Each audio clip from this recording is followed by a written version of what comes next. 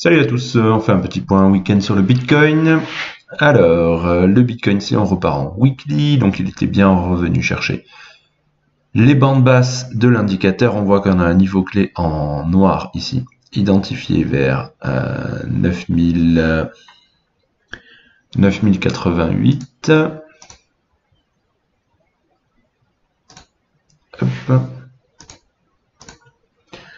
Voilà. On voit qu'il détecte potentiellement la formation d'un range, c'est les deux petites bornes grises que vous voyez, mais on n'a pas de petit rond confirmant euh, ici, pour ceux qui connaissent l'indicateur, confirmant que le range semble valide. Donc c'est deux choses différentes, un qui détecte euh, un range précoce et l'autre qui détecte si le prix réagit comme prévu. Donc là, il ne détecte pas de réaction euh, comme prévu du prix, donc probablement que ces bornes du range vont pas faire effet. Si on passe sur le daily, ah si, sur le weekly, je voulais vous montrer aussi, le RSI passe en zone de surachat, alors ça veut absolument pas dire qu'il faut vendre, d'accord? Euh, Tout ce que vous trouvez sur internet sur ça, où il faut vendre un RSI suracheté et, euh, et acheter un RSI survendu, hein, c'est du bullshit absolu. C'est très bon signe que le RSI atteigne la zone de surachat, ça veut dire que les boules sont largement en contrôle du marché, d'accord? On n'avait pas atteint, vous voyez la première fois sur le mouvement ici qu'on a atteint l'oversold, c'était vers juin 2016 et regardez ce qu'on a fait derrière. D'accord? Donc là, on atteint l'oversold et on, espère tous faire la même chose, bien sûr. Autre chose qu'on peut regarder, le momentum qui est en rouge et vert, d'accord, vous voyez, hein, il est capé à 100 et euh, Là, il est à 97. La dernière fois qu'on a eu un momentum aussi fort, c'était en novembre 2013. D'accord? Depuis, on a fait que perdre doucement du momentum. Doucement, il était toujours largement positif sur les phases ascendantes, mais il n'était pas aussi fort. Donc là, on a vraiment des signes euh, long terme, hein, c'est du weekly, donc ça n'empêche pas du tout de retracer euh, jusqu'à 4000 dollars par exemple. Hein. Mais on a des signes long terme de, euh, de bull market, d'accord? Par contre, on a aussi on peut le voir d'une autre façon, on a aussi des indicateurs qui sont au plafond. D'accord? Comme ici, vous voyez, on avait euh, un momentum plus court ici qui était au plafond. Donc ça a consolidé à plat pendant un petit moment, potentiellement ce qu'on pourrait faire. Je ne suis pas si sûr que ça, dans le sens où on va enlever l'indicateur. Dans le sens où on a probablement fait une vague 1 ici, une vague 2, et là moi je suis plutôt tenté, vu le mouvement qu'on fait, d'étendre les sous-comptes, c'est-à-dire de considérer que tout ça appartient à une même vague 3. Vague 3, donc la question c'est est-ce que cette vague 3 est finie ici ou pas? Je pense que non, je pense qu'on peut encore pousser, surtout vu la réaction qu'il y a eu là. Si on passe, si on regarde le RSI, Ok, il y a une mini divergence qui existe entre ce sommet et ce sommet. Euh, elle est mini-mini. Hein. On a RSI là qui est à... Pourquoi ça s'affiche pas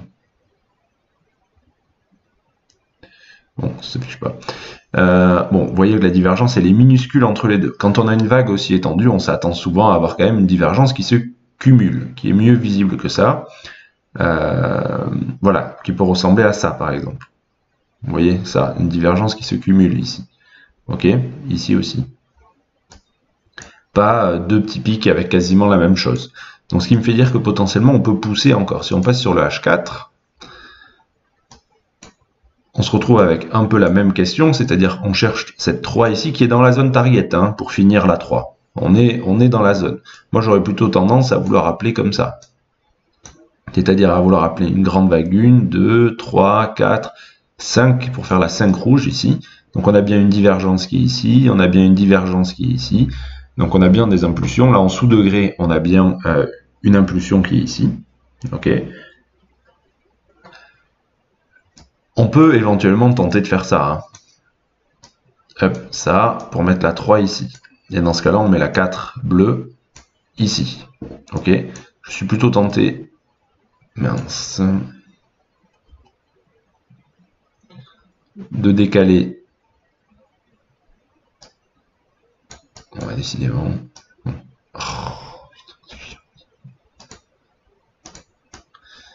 de décaler tout comme ça. Hop. Voilà. Voilà, quelque chose de ce style. On aurait trouvé la 4 ici. On voit qu'on est en train de casser la trendline RSI. D'accord Tac. Donc, qui signe que au moins la première vague de baisse est finie.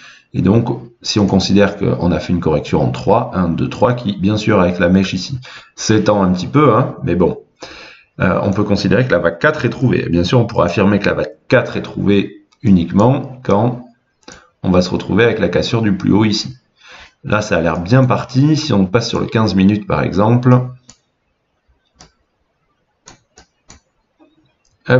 cette grande remontée, on pourrait éventuellement la compter comme une impulsion. D'accord? Bon, ben, vu que c'est que deux candles, c'est difficile. On corrige. Là, on a bien une montée avec une divergence ici. 1, 2, 3, 4, 5 sous la forme d'une petite diagonale ou edge. D'accord? Très propre. Vous voyez? Donc, on fait le démarrage sur une diagonale. On corrige en 3. 1, 2, enfin d'ailleurs 1, 2, 3. Et là, on est reparti. 1, 2, et pouf, là, on a explosé cette nuit. Il ne faut pas oublier que tant qu'on n'a pas cassé ce plus haut, on peut faire une double correction, c'est-à-dire qu'on a pu faire A, B ici, et là on retombe pour faire C, ce qui nous ramènerait à l'heure actuelle quand même plus bas. Après, est-ce qu'il faut paniquer sur les plus bas du Bitcoin? Non, là moi clairement, euh, on, on, est déjà à l'achat depuis un petit moment dessus, mais là on va passer sur des phases quand même plus agressives, c'est-à-dire tout retracement majeur qui va être proposé va être acheté, hein, de mon côté. Hein. Si on nous propose 5007, j'achète, hein, sans souci. D'accord? Euh, Et même si on descend 4000 et tout, c'est-à-dire tous les, tous les pullbacks considérables qui seront proposés, là, euh, la mèche est pas aussi forte sur les autres exchanges. Euh, du coup, là, sur Bitstamp, moi, j'ai chaté un peu, j'avais mis un ordre à 6002, qui a été fil juste sur quasiment sur le bas de la mèche. Donc ça, c'est un peu de chance, il faut bien en avoir des fois. Et, mais tous les gros pullbacks, pour moi, seront des achats. Là, bien sûr, vous allez lire des titres. Euh, J'ai vu un truc passer euh, nuit de sang sur les cryptos euh, quand il y a eu ça là, Bloody Night. Bon, voilà, hein, ça vous laissez tomber hein. parce que les mecs ils disent oui, les cryptos ont perdu. Ouais, ont perdu 25% en une nuit quasiment. Oui, d'accord. Bon alors, le pourcentage c'est toujours à ramener à ce qu'on a fait avant. Hein. D'accord? Depuis le mois de février, on a juste pris, hein, juste. Non, ça s'est effacé. C'est vraiment de la merde, hein, les outils TradingView. On a juste pris 154%. Quoi. Voilà. Et le prix depuis le, bottom a quasiment fait que x3. Voilà. Donc bon, il faut, faut, faire attention avec les titres. Ça baisse toujours plus vite que ça monte. C'est universel dans les marchés parce que ça monte sur de l'espoir, d'accord, et ça baisse sur de la peur. Donc la peur étant un mouvement créant la panique, euh, ça crée, ben, des, ça crée ça, exactement, la grosse mèche comme ça. L'espoir ne crée pas de panique, d'accord. Donc c'est donc plus lent le mouvement à se mettre en, place. Des fois il y a l'espoir qui s'accumule à fond et qui crée le, le faux mot, d'accord. Mais ça, euh, si vous essayez de, de, trader convenablement, vous ne devez pas en faire partie. D'accord Par contre, quand tout chute, s'écrase comme ça, c'est là où vous devez intervenir. D'accord? C'est là où, quand tout le monde a peur, sachant que vous avez identifié que la tendance est plutôt haussière, quand tout le monde a peur, c'est là où il faut passer à l'action. Pas quand tout le monde vous dit oui, là, vite, j'achète parce que ça part, ça part, ça part. D'accord? C'est pas là qu'il faut acheter. Ça, c'est du faux mot. On achète quand tout le monde dit voilà, là, c'est la fin. D'accord? C'est caricatural, hein, mais c'est un peu ça. Ok? Donc là, ben, on attend de voir. Hein. On voit que la vague 3 euh, bleue, elle peut pousser largement euh, jusqu'à 9000, hein, ce qui amènerait, ben, vous voyez, quasiment 9120, euh, ça amène quasiment sur la target du niveau clé weekly. Donc, pourquoi pas essayer d'y aller? Après, va se poser la question du degré, justement, parce que si on est, je repasse sur le H4, si on est bien dans le degré rouge, on va atteindre du coup la vague 3 euh, bleue, et du coup il va falloir faire une vague 4 bleue, c'est-à-dire qu'on va encore retracer. Souvent la vague 4 revient dans le domaine de la, de la sous-4 précédente, donc on devrait revenir dans ces zones ici à peu près. Mais ça n'a rien de sûr, on peut très bien faire un triangle, faire une correction à plat, faire un flat, on n'en sait rien, d'accord? Mais ce qui voudrait dire que quand on va casser le plus haut ici, il faut pas, ah, je vais vous redire la même chose, il faut pas faux C'est pas parce qu'on casse le plus haut que ça y est, euh, on va forcément pousser. On est sous le joug en daily d'une divergence potentielle. Hein. Il faut faire attention, vous voyez, hein, le plus haut RSI, il est ici. Nous, on est en passe de casser le plus haut sous peu du prix et le RSI est que là. C'est-à-dire que si on pump jusqu'ici à peu près, on a la possibilité mathématique, probable parce que bon, j'ai pas fait de simulation du RSI, mais de conserver la divergence. Si on voit la divergence apparaître sur ces zones-là, ça peut nous indiquer qu'effectivement on a trouvé notre vague 3 bleue, d'accord Et qu'il faut s'attendre à, un retracement. Encore une fois, ce pullback s'achète. Alors il y en a qui vont me dire mais non, parce que c'est la fin. Bien sûr, on pourrait être comme ça. C'est-à-dire voilà. Oh, et on peut se retrouver à acheter le pullback de cette 5 ici.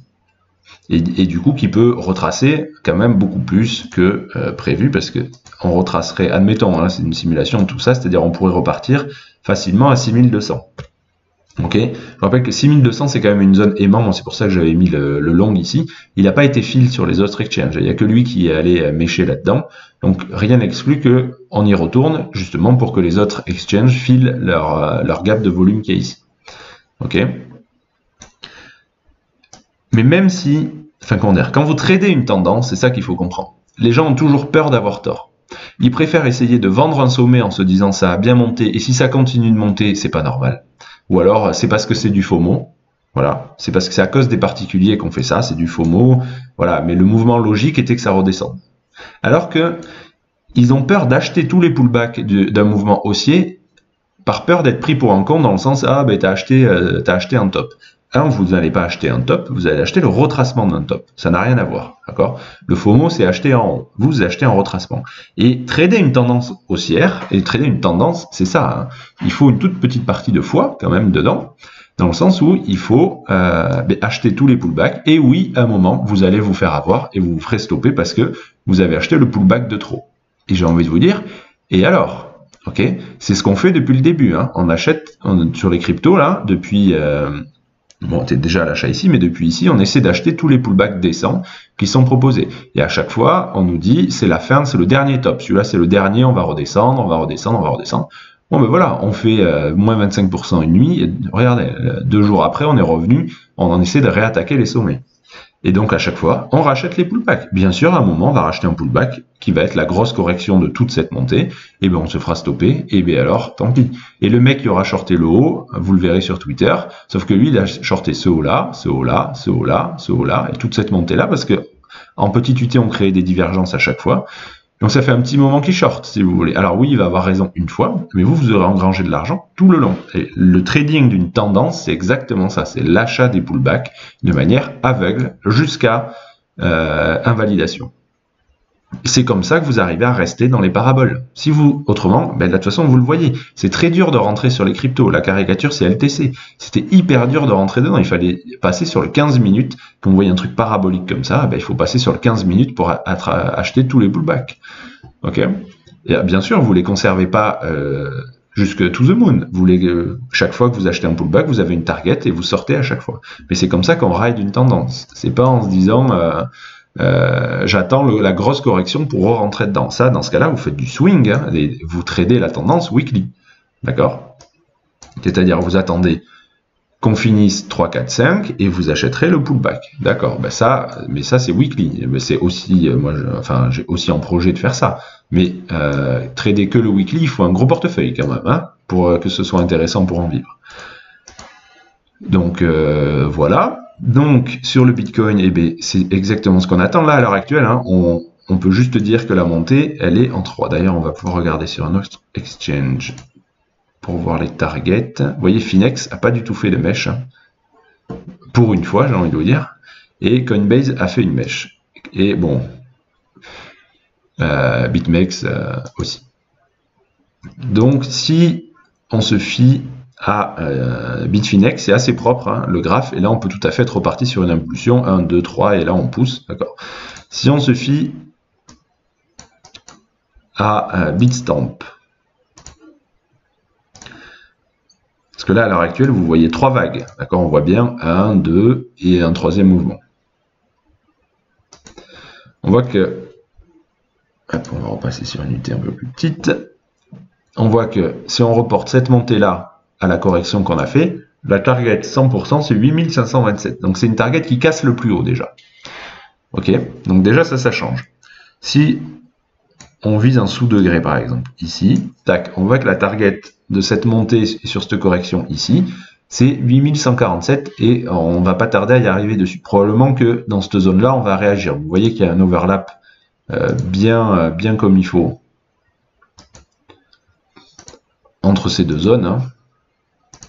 Vous voyez, hein, on a ces zones-là qui sont en overlap complet entre les deux, ce qui ferait qu'on pourrait trouver notre 5 éventuellement dedans, même si, euh, ce que j'essaie de vous dire, c'est que à l'heure actuelle, vu qu'on n'a que 3 vagues visibles, si on s'arrête vers 8147 et qu'on commence à redescendre, à, casser ces plus bas ici, vers, vers 7000, on s'expose à une double correction, et dans ce cas-là, il faudra appeler que le 5, bleu, le 5 rouge était ici, et donc le 3 bleu était ici, et qu'on joue le 4 bleu. Donc c'est-à-dire on va jouer plus bas.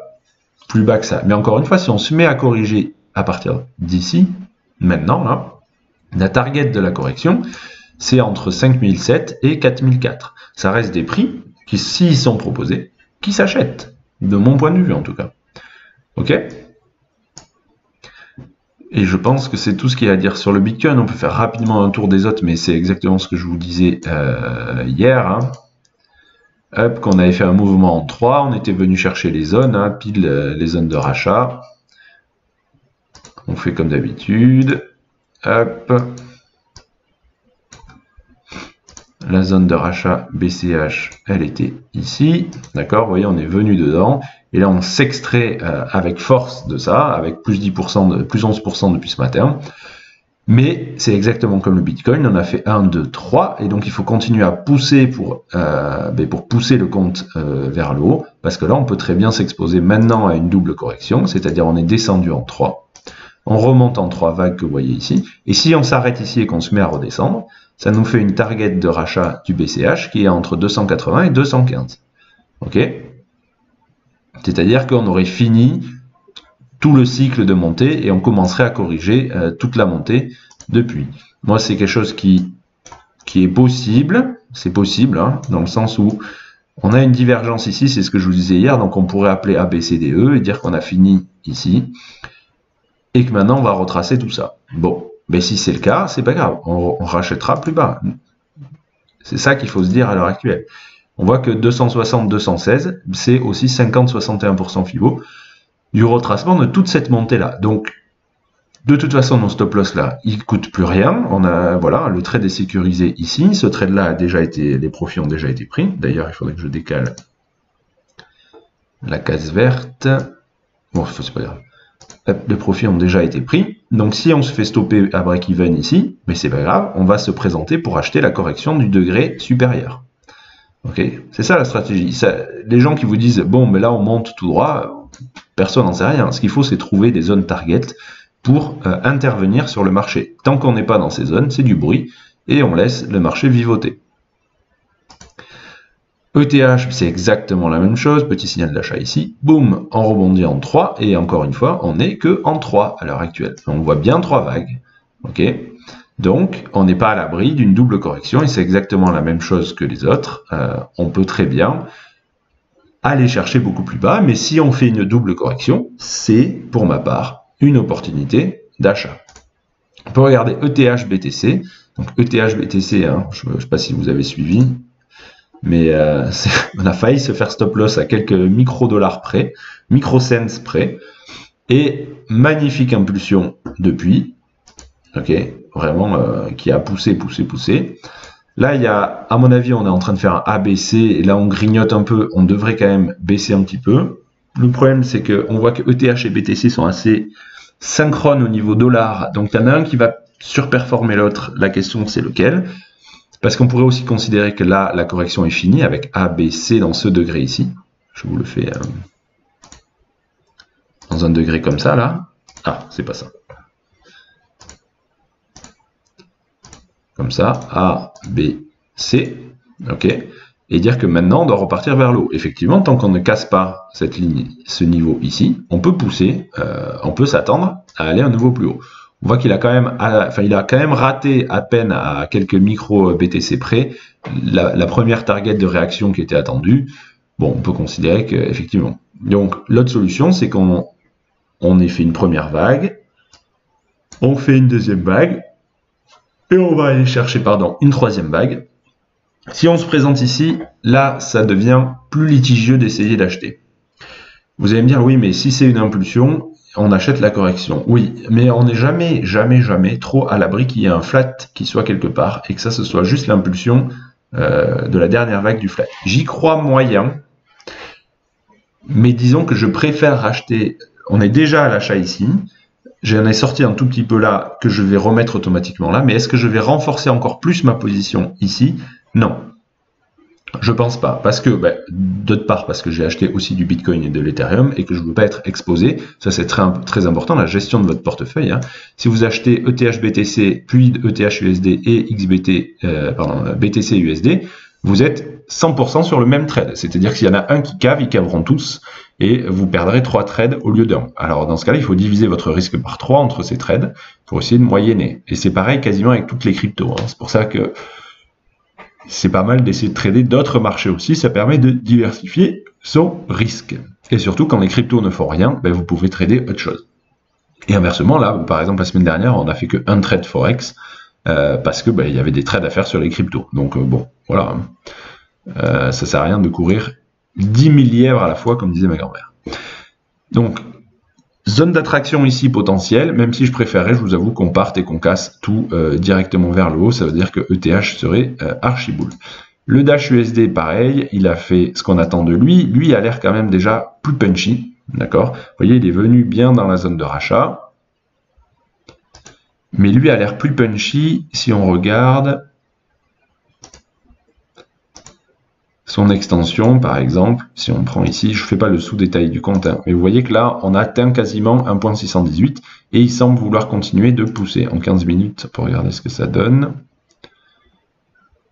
Vous voyez, on pourrait mettre même la vague 1 ici. Ça veut dire qu'on fait des extensions. Si on fait des extensions, il y a quand même des chances qu'on soit à l'intérieur d'une impulsion. D'accord? Vous voyez, oula, énorme RSI ici, qui commence qui divergent depuis ici. Donc euh, bon, on va voir ce que ça donne. Mais euh, voilà, le Dash, c'est exactement pareil. C'est exactement la, même problématique de compte que sur le Bitcoin. Et lui, il semble plus clair dans le sens où ça, ça c'est une merveilleuse impulsion. Voyez la divergence, comment elle se cumule ici. Regardez là, comment ça diverge. Ta, ta, ta, ta. On diverge tout le long de la montée. Donc ça, magnifique vague étendue. Donc on aurait une première vague ici, une deuxième là, et ça ce serait la 3. On serait allé rechercher une 4 un peu profonde, ok, assez verticale. Vous voyez que la 2 a été plutôt longue, elle a retracé quand même pas mal, mais elle a été quand même étendue dans le temps. La 4 a été rapide, on peut y voir une forme d'alternance. Et là on partirait ben, pour des plus hauts. D'accord? Pourquoi on vise des plus hauts? Parce qu'il y a une extension entre la 1 et la 3. 1, 2, 3, vous voyez, on a cassé 1.618, on a cassé 2.618 même. Donc on s'attend à on a du mal à acheter ABC ou WXY sur des extensions, donc on préfère avoir 1, 2, 3, 4 et 5 derrière. À mon avis, cette 5 devrait quand même finir le mouvement, c'est-à-dire que ce serait une 5 de 5 qui amènerait la grosse vague 1 magenta. D'accord? Je vous le mets en daily pour voir. C'est une possibilité, d'accord? Pas, ça ne veut pas dire que c'est forcément le compte qui restera, mais c'est à l'heure actuelle ce que je joue. De toute façon, pour l'achat ici, je prendrai des profits sur la zone escomptée euh, comme d'habitude. Il ne faut pas grid, d'accord? C'est important. On peut aller regarder un petit autre, peut-être le XRP, le X, ah oui, XMR qu'on n'a pas fait hier, mais je crois que j'ai pas mis le compte à jour. Euh, XMR c'est un peu la même chose, il, est, il impulse bien, il rebondit, lui il faut pousser, j'ai toujours pas TP mais XMR d'ici, euh, lui je l'avoue je le gride un peu. lui je vous avoue je le gride un peu, pourquoi? Parce que quand je regarde les bitcoins, j'ai j'ai l'impression qu'il a atteint l'équivalent de cette résistance, cette zone résistante ici, 140, qui correspondrait à 140 sur euh, XMR. Je vous avoue que celui-là, je l'ai gardé un petit peu pour essayer de viser beaucoup plus haut. C'est du grid, je le sais. En tout cas, le stop loss, là, il est sur l'entrée. Tant pis si euh, on chute et que je me fais reprendre à zéro sur celui-là. Celui-là, je le grid. Euh, ça me fait plaisir. Le XRP, donc euh, il a réagi pareil sur la zone attendue et comme les autres pour l'instant. Il est en 3 donc attention on est toujours à la merci d'une double correction. En tout cas c'est pas maintenant qu'il faut acheter parce que le prix repart. Il fallait acheter ici dans la descente. D'accord. Là si vous achetez là vous achetez au milieu de nulle part. C'est à dire vous achetez là où il y a autant de probabilités qu'on cave que on moon.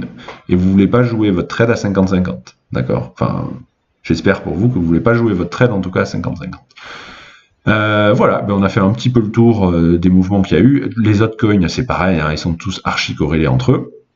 En tout cas, du vert sur les cryptos aujourd'hui. Donc, à suivre. Bon week-end à tous.